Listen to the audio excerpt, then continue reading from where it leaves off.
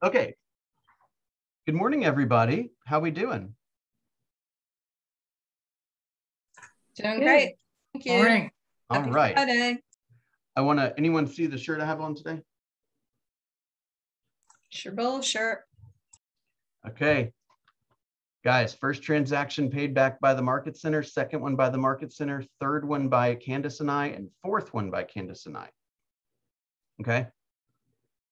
We know it works. That's why we're willing to put our money where our mouth is. The Market Center knows it and they're willing to make investments in you, and we know it and we're willing to make investments in you.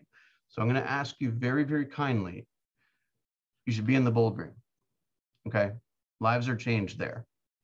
You start thinking totally differently about your your world, your your your your goals, your business opportunities, everything.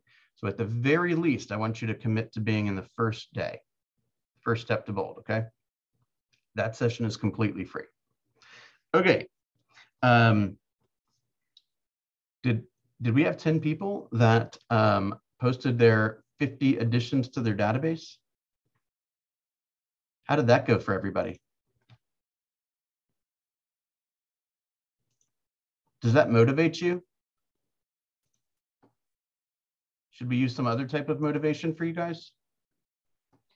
Motivates me to record my numbers. No, not record your numbers, but put up big numbers, like 50 people added to the database or 100 people Yeah. in a week added to the database. It motivated me, Bill. Okay. Well, it doesn't look like it happened. So I'll be watching today um, as people are, you know, finishing putting their, their stuff in there. But um, if you're not motivated by things like that, tell me what you're motivated by so we can push you. Okay. I'm flexible. All right. Can everyone see my screen here? FHA loan contingency exhibit. I can see it. Okay, I want to spend just a minute talking about this document. Remember, we're doing a contracts deep dive today. Um, I'm going to be catching up on all the YouTube pages uh, or all the YouTube videos um, here this morning. And yesterday we talked about the financing contingency uh, or the really the conventional uh, financing loan exhibit. And today we'll uh, spend a few minutes on the FHA loan exhibit. Okay, so remember an offer for those that weren't here yesterday to make it super simple when you're putting together an offer, there's a few different components. Okay. The first component is the pre approval letter, pre qualification letter. If you do not have a relationship with the mortgage professional that the buyer is potentially using, or at least the one they're talking to right now, you need to call that lender and introduce yourself and ask for a loan worksheet so that everyone is aware of what the line item by line item costs are going to be in both buying the home that's stuff like title search, title insurance, closing fees, that kind of stuff, or financing the home. That's like origination fees, setting up the escrow accounts, paying the lender, all that stuff. Okay. So everyone needs to be aware of what the cost to close are going to be. The uh, and you want to make sure that you're not dealing with a dud on the other side. Because every once in a while, I find that the lender that my buyer is using is a dud. And I call the buyer and I say, Hey, I called this guy and I haven't heard from him in four days that's making me pretty nervous. Would you like me to explain what could happen if the deal falls through on their account? Because it's going to be costly. Would you like another referral? You see what I'm saying? So you need to make sure you're buddied up with that person, whoever it is. Okay. Next, um, we're going to put together the offer with a pre-qualification letter, the purchase and sale agreement. Then you're going to have what I would call the financing document. So that's either like VA, USDA, FHA, conventional, or an all cash exhibit. Something, one of those is going to be in the contract for sure. Okay. And then the next kind of segment, if you will, is the disclosures. So seller's property disclosure, community association, community association disclosure if applicable, and uh, lead-based paint disclosure if applicable. Okay. And not to get in the weeds. What is USDA? Um, what is the USDA? I've, US I've heard it before, but I thought it was just like a type of approval. I didn't know it was like an actual loan contingency. Um, it's a uh, it's a loan that's oftentimes used like out of the major metropolitan areas, like kind of way north, way west, way east, way south, right? And um, there's some uh, special financing for areas that are kind of um, oftentimes thought of as like more farmland or more like rural land. Okay. Oh, okay. Yeah. Thank you. Yep. Okay, so I want to spend a few minutes on the FHA uh, exhibit today. Okay. Um, obviously, all exhibits need to be labeled properly and they should be matched between the purchase and sale that has um, um, that should be matched on page, what is it, six or seven of the purchase and sale agreement, the second to last page, where it tells you which which exhibits are going to be included, right? Obviously, it needs to be matched. Like, don't say it's FHA loan exhibit C on one page and B on the other page, right? You're being evaluated as is your client when you submit an offer. If your offer's sloppy, they're going to think you're sloppy. And if they think you're sloppy, they ain't going to accept you. Make sense? So you want to have real tight buttoned up offers. Okay. You do that by really studying how to do this and double checking and triple checking everything. Okay. Now let's say it's exhibit A. Okay. Um, just as a sidebar, a lot of times um, we, we find ourselves in situations where it's like nothing's really happening until it's an emergency. Right. So for example, let me use you, Donna, as an example. Okay you've got a buyer and let's just say your buyer is going to do a conventional loan okay and you pretty much have a good guess at who their lender is going to be you pretty much have a good guess of you know what type of loan they're going to get and roughly what the price range is and roughly when they want to close and all that stuff right so what's to say you can't start the offer right now right You probably should. Exactly. Get the purchase and sale agreement in there, get the loan document in there, get the disclosures in there, right? Put it all together and start filling out as much as you can. You know, all that stuff you got to do at the end with the KWRO1, it just takes forever, right? So why don't we do it ahead of time? So when at nine o'clock they tell you they want to write an offer, the offer takes five minutes to finish up rather than two hours. Make sense? Yep. So you could be preparing in that kind of way right? I, I used to I used to have a system with my assistant where I'd leave the house. They told me that it was going to be uh, that they were wanted to put an offer in. I'd call my assistant and say, okay, it's an FHA loan. Put in the this step, this step, this step. It's going to close on this day. Send the comps in this way and have it all pulled up for me on my computer when I get home. So instead of going home and spending three hours dealing with all that stuff and missing another dinner, I spent five minutes dealing with it and then I went and had dinner. See what I'm saying? Can can I add something else to that too? Yeah. So when you're doing your um, your buyer brokerage um, agreement, you know, in your buyer consultation, you should probably include a copy of the purchase and sale agreement in that package so that the buyer can become familiar with that document way ahead of time too. Mm-hmm. So you're not having to spend a lot of time explaining that when it's time to put in an offer. Um, I, it's not something I did all that often, but I definitely agree with you, particularly somebody who's not done a lot of buying before. Now, I would really, I know this sounds a little weird, but I probably would not do that with somebody who I didn't feel like I had a lot of control over, right? If they if I feel like they're flirting with other agents or they don't particularly seem all that loyal to me, right? I might be a little bit more reluctant. Definitely when they sign the buyer brokerage agreement, I think they should get that stuff. But until then, I would probably I would I would not just say always do this or always never do this. I'd probably feel it out a little bit. Okay. Okay, so we're gonna have our offer date.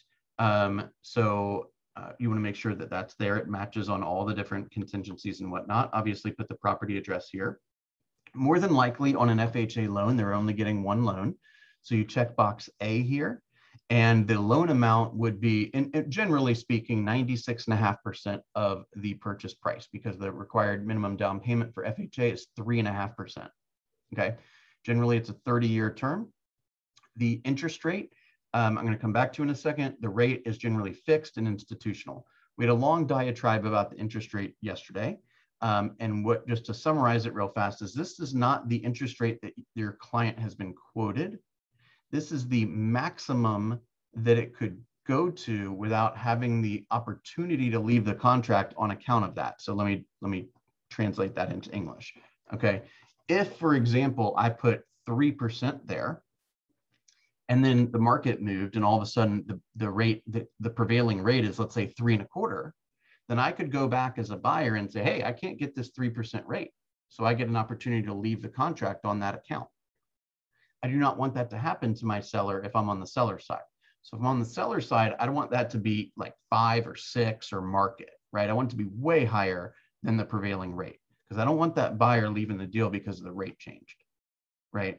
If I'm the buyer, then I would generally put like three or three and a half, right? I'm trying to protect a, di a different person. Make sense? But this is not the rate that you're claiming to get. This is basically a protection line, okay? Most likely there's not gonna be a second loan, so you don't have to worry about that second part. Down here, we talked about the advantages and disadvantages of naming a lender here. And let me review those with you. There is absolutely no advantage to putting a lender there. All the advantages by leaving it blank.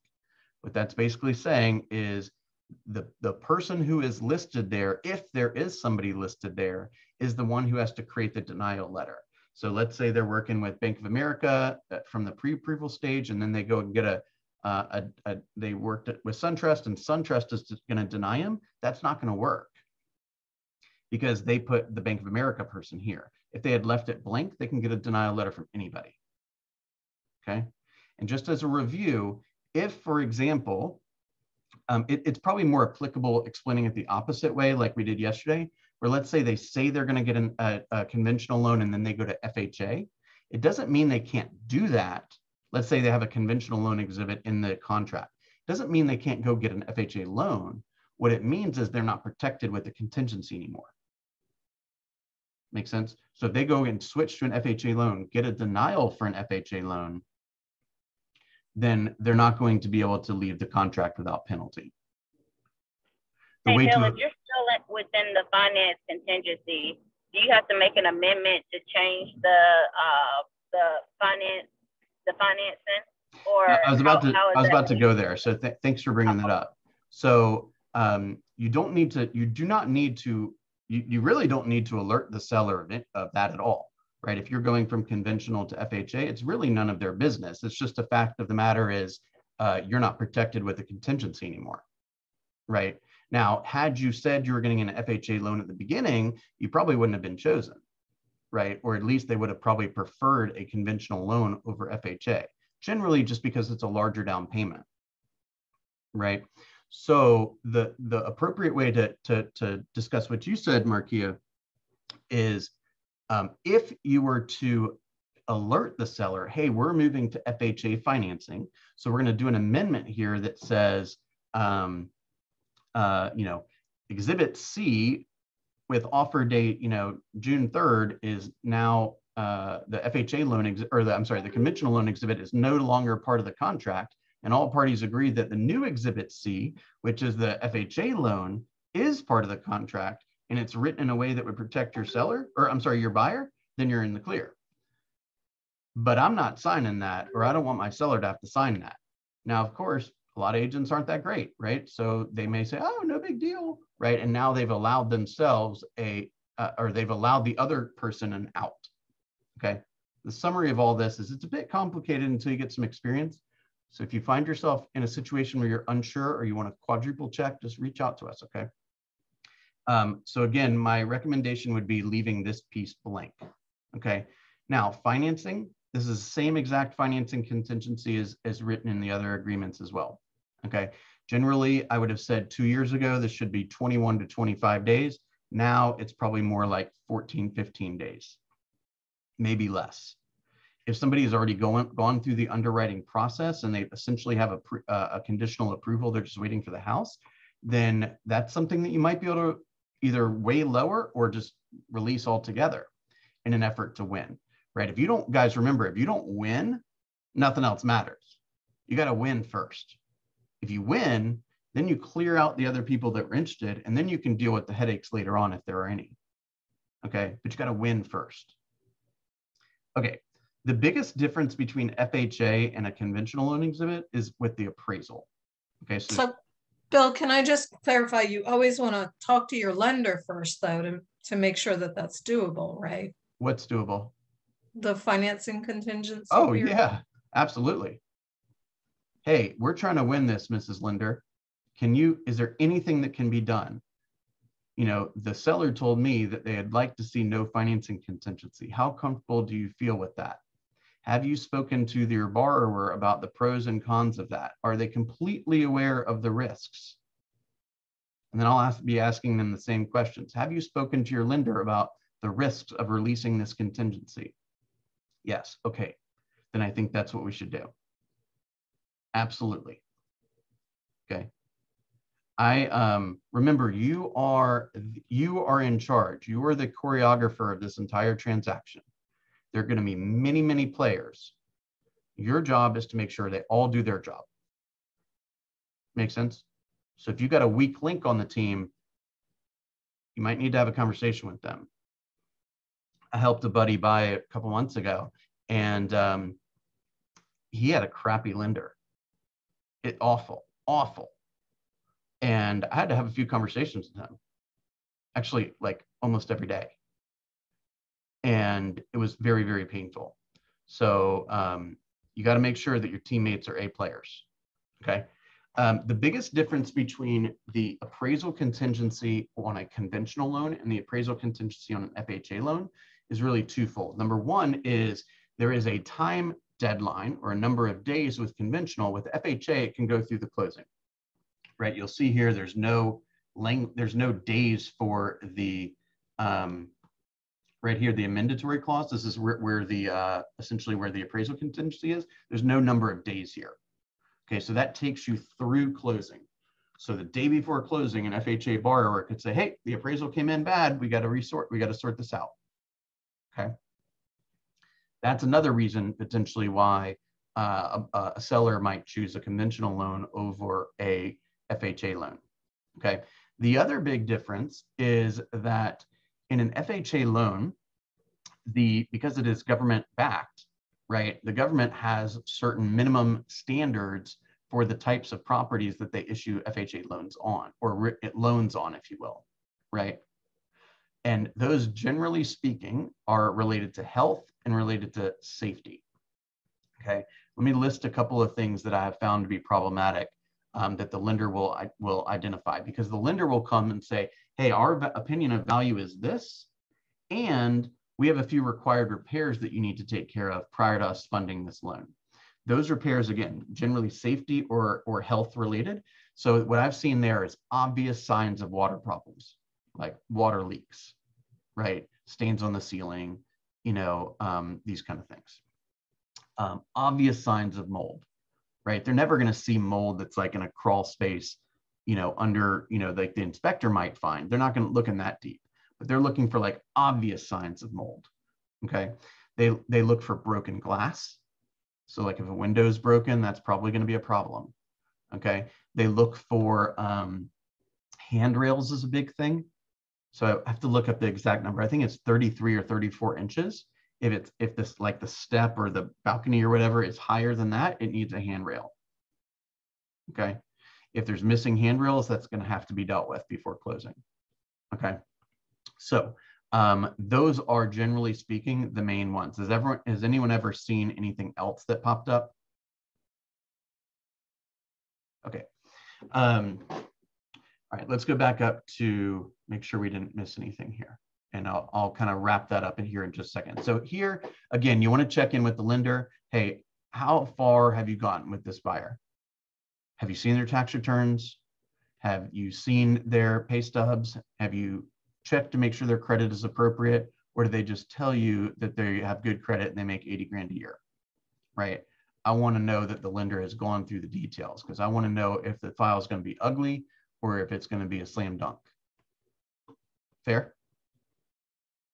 So that means if they can't get um, through underwriting, if they can't get um, approved before the end of the financing contingency period, if they're going to get denied, they can get their earnest money back. If, if they're denied before. during the due, due uh, or during the um, financing contingency, mm-hmm. then yes, they would get their money back. There, there's only one exception to that, um, and this is there's definitely a gray area here, which is uh, what I would call like self sabotage, right? So, for example, they change their mind and they say, ah, I don't really want to buy this home. The due diligence period is over. Maybe I'll go lease a BMW and that'll throw my ratios off. And then um, that'll give me an opportunity to leave the contract. That's not allowed. So, you can't like self sabotage it. And the seller can ask for proof of conditional approval? Um, to tell you the truth, I need to look that up. That that's actually one thing that's changed several times in the last few years in the contracts. I need to I need to verify that. I think there's also a difference between conventional and FHA. So I will do that research today. Okay. Um,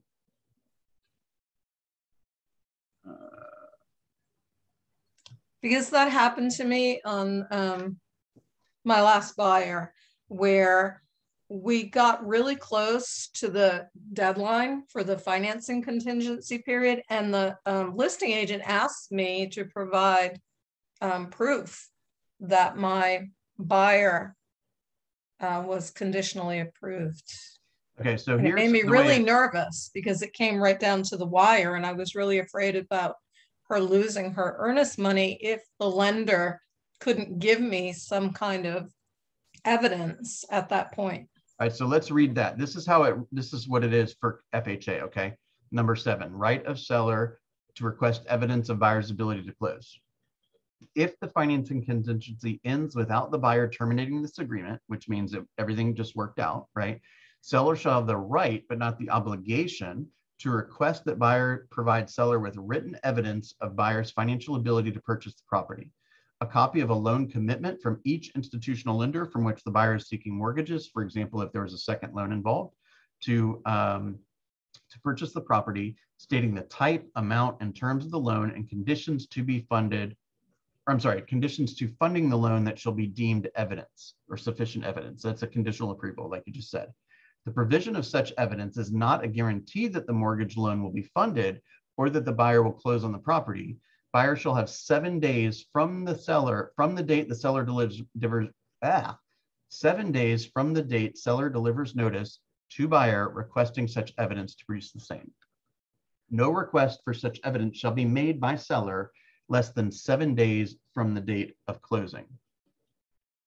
Okay, so that that tells me there's only a very small window that they can ask for that the window would be seven days from closing would be their end of their limit, and seven days from the financing contingency ending would be the beginning of their limit. So there's a very small window that they could do that. But there would never be a situation where you were expected to do that sooner than seven days from the end of the financing contingency. So I'll go back uh, later and read it exactly how it reads for conventional, but this is how it reads for FHA. Does that answer your question? Yes, I was just really worried about protecting the earnest money. That was not a very confident, yes. Um, because I, I don't know, I guess I'm just really clear on what needs to happen before the end of the financing contingency yeah, period to make sure that my buyer's money deposit is protected. Yes. Okay, let I, let me let me try to clarify that then. Okay, um, more than likely, especially in today's market where these time periods are are tend to be a little shorter, um, you are probably not going to be clear to close. Almost certainly not going to be clear to close by the time the financing contingency ends. Remember, in a perfect world, the buyer would want the financing contingency to go all the way to, to closing. But in a set and in a perfect world for the seller, they wouldn't want a financing contingency. So the whole reason why we have some or have one and the rough number of days is because it's a negotiation between the parties, right? So under, understand that. Ideally, the buyer would have the whole time. Ideally, for the seller, they wouldn't have any. So this is kind of a meeting in the middle, if you will. Now, you are not almost certainly not going to have a full clear to close, full approval. But by the time that the financing contingency is almost is about to expire, you want to make sure that you're having enough conversations with the lender to say, hey, the financing contingency is ending on the 4th. So meaning if this deal is going to die or if this loan's not going to be approved, I need to know now. And you need to issue me a letter now so I can deal with that prior to the end of the contingency period. So by the time the end of the contingency period is happening, we want to make sure that there's been a conditional approval, which is generally likely going to be the case, and that the, whatever the conditions are, are achievable. Meaning, like, the buyer will have to furnish his most recent pay stub, or the buyer will supply us with insurance, or the buyer will explain this cash deposit or whatever, right? It's things that are that are doable, right? But if the condition is, um, you know, the buyer will need 50 grand in closing money and they only have 30 grand in closing money, then that's gonna be a problem. See what I'm saying? That's probably not gonna be able to be dealt with, most likely. Okay. Okay. Great questions, Donna. Don't say yes if you mean no now. Let's get let's let's make sure we get those answers done. Okay. Thank you. You're welcome. Okay, so we're going to go down here, and the next page is number 11, or next section is number 11.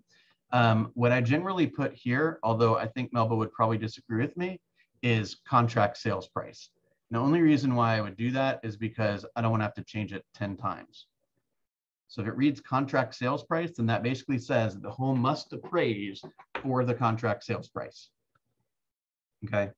Now, So you're saying don't put in a figure, put in contract sales price in case something changes, like if there was an escalation clause or something, because that Right. amount always needs to match what um, the purchase, the offer amount is, right? well, it needs to match the ultimate binding contract sales price. Okay, Now, remember, this is just an offer when we're starting to fill this out. Right. So for example, if I, let's say I put an offer in of 300,000 and I put 300,000 here and the seller counters me at 310 and ultimately we agree to 310, then I need to change this to 310. So I'm, is, this is probably not, I don't want to like disagree with Melba on camera. What, what is she suggesting? well, I know Kathy Vitale said that you would need to, I guess, do an, it would need to be revised to match if the, um, if the sale price changed. You want to always remember that you have that figure in there and make sure that it matches, um, you know, the final sale price. I don't I- remember how she said to do that, whether it was to, re, you know, do a new FHA loan contingency or just do an amendment to the contract. I don't remember what she said. Okay, so um, I'm, hopefully this doesn't bite me, but I'm gonna say put contract sales price. And if somebody later in the transaction wants it to read differently, then you just do an amendment. Okay, that way you don't have to worry about it. Okay, so what that means is that if the home appraises for contract sales price or more, you got no issue and the buyer needs to move forward. By the way, when you notify the seller of that, you don't send them the appraisal report and you don't tell them what it appraised for, right? You just say, we're good. Appraisal came in, everything's good. See it closing, right? What if they ask you what it appraised for? Then you say, no. I'm not trying to be arrogant about it. You just say, "Uh, my client is not, um, is not interested in sharing it. Okay.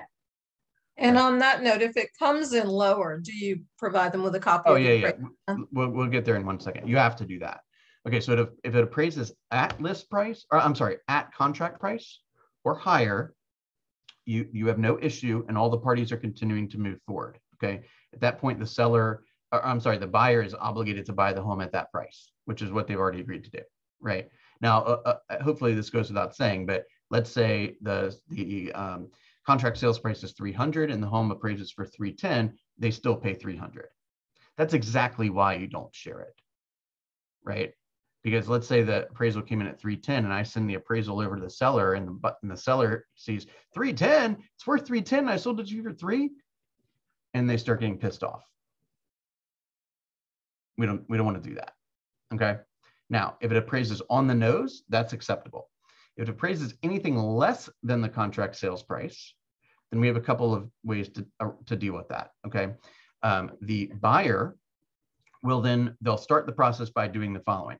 They will send the low appraisal to the agent, to the listing agent, okay? Uh, with a document called the amendment to reduce the sales price. Okay, and they will uh, amend or offer to amend the sales price to the appraisal value. So let's say it appraises for 290. So you'd send them the, the appraisal and you'd send them an amendment to reduce it to reduce sales price to 290. Okay. Now, seller has a few options now that they've gotten the news. Okay. Seller could say yes we will do that, right? And then the price is amended to 290 and all the parties are moving forward, okay? And as a result, of course, the down payment will be slightly lower, the monthly payment will be slightly lower, the loan amount will be slightly lower, right? Because now they were willing to pay 300, bank thought it was only worth 290, seller vouched for it, so now the price is 290. Everyone with me? Okay, the other option is they say no. And no could could look a few different ways. No could be no, I'm not lowering the price at all. Or no could be no, I'm unwilling to lower the price to 290, but I'll do it to 295 or something like that. If they say no, which is again anything other than yes, I will do that exactly as written, then the buyer, assuming this happens before the end of the appraisal contingency, which for conventional is a number of days and for FHA is the whole time. Okay, um, if they say no, then the buyer can leave the deal and keep their earnest money. Okay, if they want. They also have the opportunity to um, bring the difference in cash. Let me explain what that means. Okay, so seller and buyer agree to pay 300. Bank comes in, the appraiser comes in and says it's worth 290. Okay, so the way that that is going to have to be uh, financially dealt with is now, let's say it was a um, let's say it was an FHA loan, okay? 96.5% of that 290 is gonna come from the lender. 3.5% of that 290 is now gonna come from the buyer. Then 100% of the 290 to 300 is gonna come from the buyer, right? Because the buyer's only willing to make a 96.5% LTV loan on the appraisal value or the sales price, whichever is less. Okay because they want to make sure that you have still have the appropriate amount of equity. So again, if the appraisal comes in low, seller says no, you can leave the deal or you could bring the difference to the table. Okay. Now, when you're speaking about appraisals to your people, I'm going to I'm going to encourage you to emphasize a couple of things. The first is um, that it's simply one person's opinion of value at that moment by the way, somebody who is not interested in buying or selling the property, right? They're not personally attached to the home. So, for example, if there's something very unique about the property, and maybe it's hard to appraise, the appraisal came in low, or something like that, but let's say your mom lives next door, and so that's a that's a very unique house for you, then you may be willing, you may value the home at more than a somebody else doing their research. So if the appraisal comes in low, it's the, the takeaway here is it's not like it's, you know, my fault or the buyer's fault or anyone else's fault. It's just this guy thinks it's different. So we got a little hurdle. We just got to deal with the hurdle, right? So we want to again, we're we are basically every day calming emotions. Really, outside of like death and divorce, moving is like number three, I think. Okay, so we're generally not seeing the best of our people. Okay, which means most times you have to take off your realtor hat and just let them vent every once in a while and then bring them back to what happens next. Just keep them on the route, okay? They go emotional, you go logical. If they go logical and they're like, no, I will not pay 231 for this house. I'm only paying 230. Yet this is the only house on the market and my mother lives next door. Okay if they're going logical, like, oh my gosh, I'm going to pay, you know, $121 a square foot, not $120 a square foot. No, I'm not doing this. Then you can bring them back to emotional. Do you remember how you told me how important it was that your grandkids could walk next door and hang out with their grandparents? Are we really going to let this go for a thousand dollars? Right? If they go emotional, you go logical. If they go logical, you go emotional and bring them back to the motivation in the first place. with me? Okay. Um, does everyone understand how the appraisal contingency functions? Okay. Um, next, mortgage insurance. Mortgage insurance on an FHA loan is 1.75%.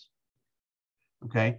And you have a choice here to check X box A or B. You generally would check uh, B, meaning it will be financed or lumped in kind of with the rest of the loan amount so that they can obtain financing. Um, more often than not, if they're an FHA borrower, they're not going to pay it at closing because they want to borrow more money, but which is reasonable because the rates are so small or so low. Okay, so generally speaking, it should be uh, uh, B, but you, you can double check that with the lender. Okay, mortgage insurance, remember on an FHA loan, there's two mortgage insurances. There's the upfront mortgage insurance, which is what we're discussing here, right? Which is essentially foreclosure insurance, right? And there's ongoing monthly mortgage insurance. So that will be one of the line items in um, uh, in, in the uh, loan worksheet, okay? All right. I think this is, I don't know why this is on here. It, I felt like it always confused people. Um, it says seller shall pay the following lender fees. These costs are or are not included in any closing cost. This is just one line item of a, a possible closing cost, or it's not possible, it's definitely going to be a closing cost, but it's stating here, is this a cost that can be included in a fee that the seller pays? I always check yes, or I always check the are included, okay? Next, this section, let's go back to lender required repairs for a second, because this is where it's relevant, okay? So when you're looking through this house, right, you're looking for the things we just discussed health problems, safety problems, these kind of things, right? And so those are things that if the buyer is using an FHA loan, they will have to be addressed before the funding of the loan, meaning before the closing, right? So if the home has some of that stuff, then I would probably put are to be paid by seller up to, you know, maybe a thousand bucks or two thousand bucks or something like that. Okay. What that means is that if the lender comes back and says, you've got to address these couple things here, then the seller will pay up to that amount. And beyond that amount, it goes back to being negotiated. Okay. If the home is in great condition you don't expect there to be any issues, then you could just put seller and I would put like 500 or something like that, just in case something popped up. Okay. You could also, if you wanted your FHA offer to be more appealing, you could also put zero there. And therefore, if there was any, any lender required repairs, you would pay them as the buyer. That's also allowed. Okay. Okay. If the home is not on public sewer, but it's close to public sewer, I have to look up exactly what the distance is. I think it's like 100 feet or something. Um, then the FHA loan may, I've never seen this happen, but they, they could potentially say you must hook up to the sewer which is incredibly expensive. Okay. So I've always put here, um, uh, I, most of the most all the most all the properties I ever dealt with were sept or were sewer anyway, not septic. But um, I would click seller agrees to pay the cost not to exceed. I might put like five grand or something there. Now, if the home's already on sewer, that's that clause is irrelevant. Okay. And then section 20 is this is an arm's length transaction or this is not an arm's length transaction, right? So if, you know, Uncle Joe is selling it to, you know, nephew George, a $300,000 house for 200,000, that's a not arm's length transaction. If it's just a normal, uh, you know, regular old sale, than it is, okay? And there's sections for the parties to sign with their name, with their uh, um, what do you call it, signature with their real, realtor organization and all that. Okay. Now, remember a couple, couple of kind of contract tips real fast. Number one is remember, especially in this, in this time, what a seller is looking for, in my opinion, is great terms, a clean contract, and a great agent on the other side. Right? We all know that I hate to say this, but I, found that I said it like three times yesterday. The best realtor in the transaction is going to do more than their fair share of the work. You just got to get comfortable with that. Okay. I, most I, I found myself, I'm not trying to be braggy or anything, but I found myself oftentimes the best agent in the transaction. And so I did all my job and probably half of their job, and I dragged them and, and their client to the closing table. But you know what? My client got taken care of. So I didn't care. Just get used to doing more than your fair share. Okay. You may have to call them, hey, we got this yet? Hey, What about this? Hey, don't forget this. See what I'm saying? Okay, if there's extra stipulation or extra signature pages, like if there's a third seller or fourth seller or something like that, you check this box here. Um, what I was trying to say is they want it to be made easy. So for example, if you ask the other agent, well, what is your, you know, realtor membership? And I'll just, you know, I'll just add that to the contract. So, you know, just save us a few minutes or save you a few minutes. Right. You know, what, what is your, um, uh, you know, fax number or whatever, right? So the most you can do to help the other party, the better your offer is going to look. Literally, I'll look at that that signature page and I can tell the kind of agent I'm working with just from the signature page. Okay. Um, this document does not have it, but it, this just thought just crossed my mind, which is I'm trying to think of what document. Definitely the purchase and sale, but I think there's one other as well that on the signature page, it has blinks for like the buyer's email and the buyer's address and the buyer's cell phone number and all that. That is none of their business. Take that off. Okay. Do not fill that in. The only place that that stuff should be is on the buyer's agency agreement or the seller's listing agreement. Okay, obviously, because that's a contact point, right? That's the way that you give notice and receive notice from a con contractual standpoint. Okay. Um, but in these other documents where it might ask for it, like the purchase and sale, clear that out. I do not want the other party calling my buyer. That's my job. There's my contact information. Don't you come near my buyer. Okay, now I feel like I've been like a tiny bit like assertive today. And I just want to make sure that you guys know that oftentimes you have to do that because there are a lot of weak partners out there. Okay whether it's another agent or another broker or your the other client or the lender, the appraisal or the home inspector, the radon guy or the termite guy or whatever, right? And you got to make sure for your sake, because you're gonna you want to get paid, and your client's sake, that everything falls into place. So don't think that you you you stay in your agent lane, but you also need to check in on all the other parties. And in my opinion, you can never do that too much. Okay. You don't need to call the, the other agent every day or the lender every day. Hey, how's the Jones file? Just look for like the milestones, right? Financing contingency ending, appraisal happening, clear to close, how we doing on the closing, everything good on the insurance. See what I'm saying? Do we have a conditional approval or not? Are the conditions of, uh, doable? All right, I feel like I've uh, I've been most most of the uh, lecture today, has this been helpful or do you have any remaining questions?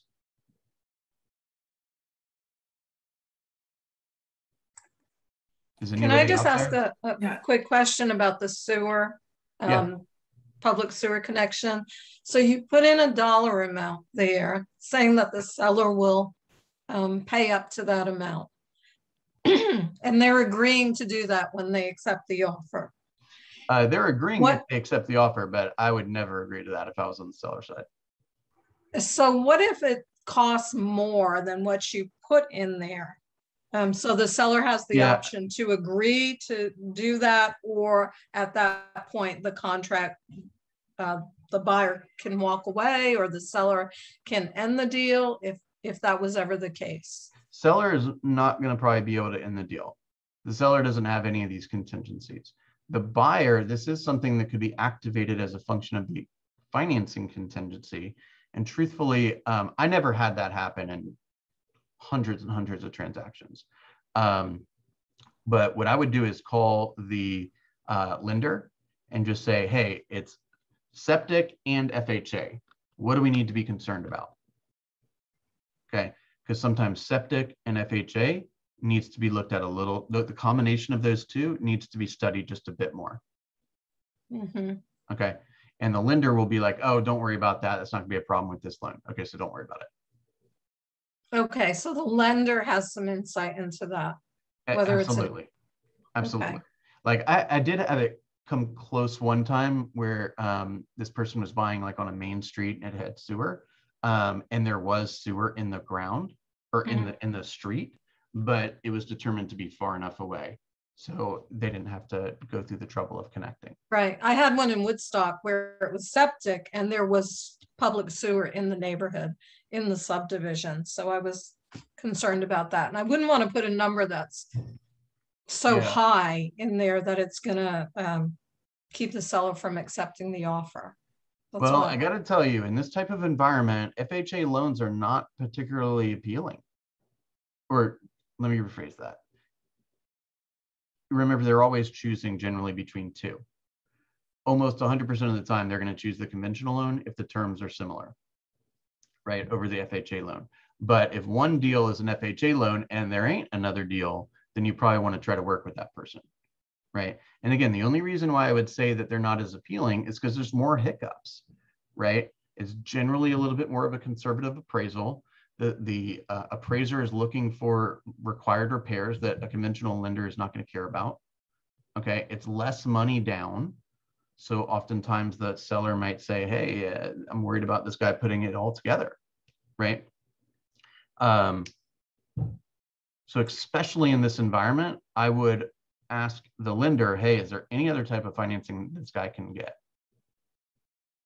Okay. So can I ask you to speak to this um, really quickly? When you're the listing agent, is that something that your seller is supposed to actually consider the type of the loan? Or is that kind of dangerous territory? Because I was told that that should, the type of loan should not come up. Who they who told you that in real estate school? No mentors? Um, yours. You, wait, let me make sure I heard that right.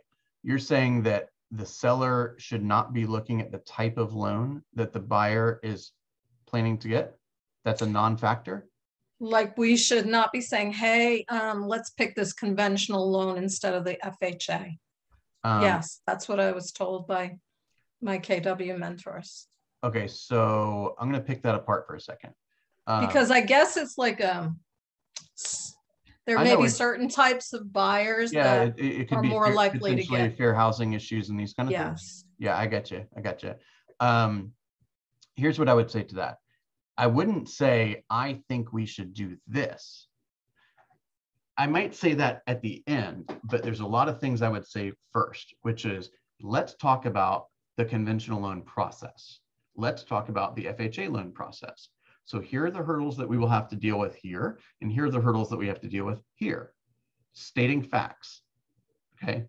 So, Mrs. Seller, which one, now that you know, and you add that to all their other terms, which one would you like to pursue? Um, if you're saying that the loan type and loan terms are a non-factor of the sales contract, I think that's completely wrong. You do, where it gets tricky, really tricky, and uh, let's just let's just call it what it is, okay? If you get an offer for 210 with an FHA buyer that is a person of color, and you get an offer of 200 with a conventional loan that's white, and you pick the 200 offer, and that deal closes, and the a person over here sees that that happened, you better have a tight file to show that there wasn't something funny going on. So yes, people can and should get upset at certain things. That's very tricky. So maybe I misstated it. Maybe what, what I was told is we can consider it, but we can't say that that was the reason why we picked one loan, one um, offer over another. Because one was conventional and one was FHA. Um, We can consider it, we just can't. I don't know if was I agree with Not that. to say that. Um, I'm not sure I agree with that because what if every other term is identical? I don't know. I, I, I, I, let me just put it this way.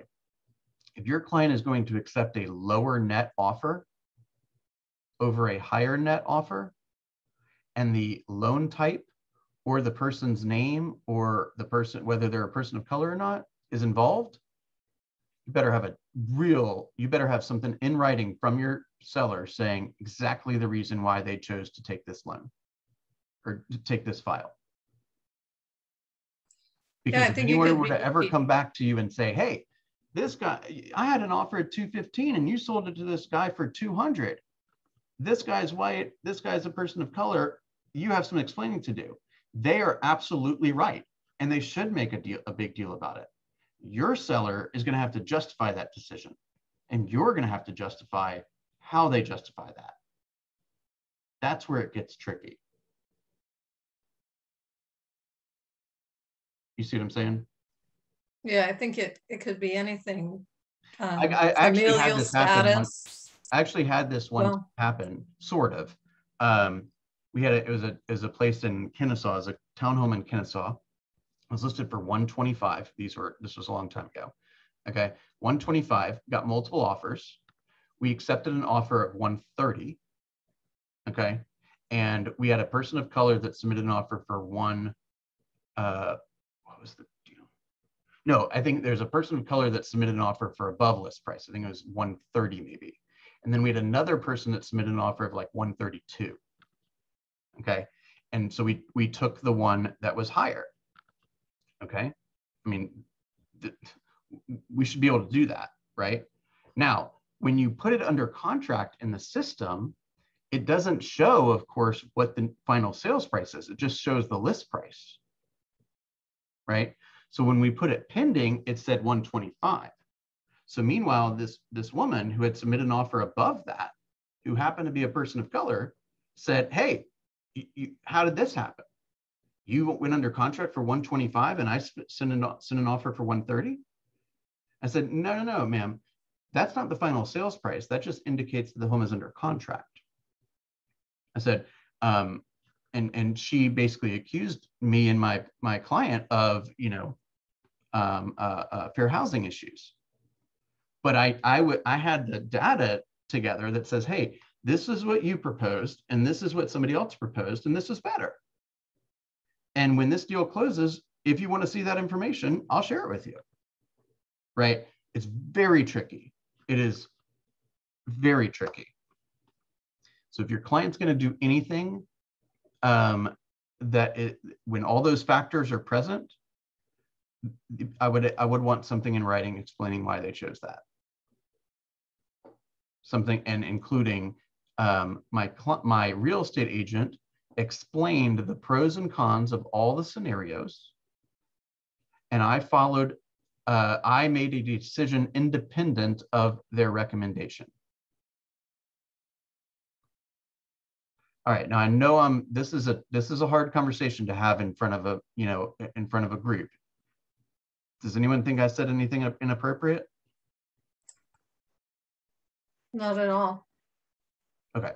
And I think it, as I was saying, I think it could apply to other situations um, besides color. It could be familial status or, or yeah, anything. wh- whether the person is um, homosexual or heterosexual, whether the person is, you know, uh, single mom with kids, single Yeah, dad with kids, no kids, right, old, young, disabled. it could be anything. Uh, that's 100% right.